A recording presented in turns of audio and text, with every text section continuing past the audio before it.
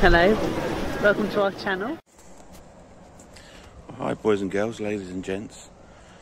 As you can see, I'm just in my local creme again, just to do some more videos for you guys and girls. And uh, we make these videos in the utmost care and respect towards the family and friends and the people's memory.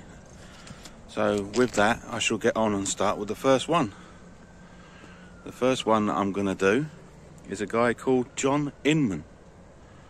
He was born on the 28th of June 1935 in Preston, England.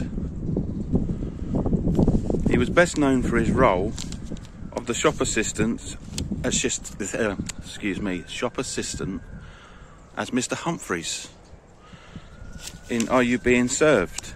And his famous catchphrase was, I'm free. Thought I'd put that in, and he won a BBC award in 1976. In 2001, he returned to the theatre until he passed, sadly passed away on the 8th of March 2007, aged 71 years, in London. So, with that, enjoy the slideshow, everyone. Be good to each other. Bye for now.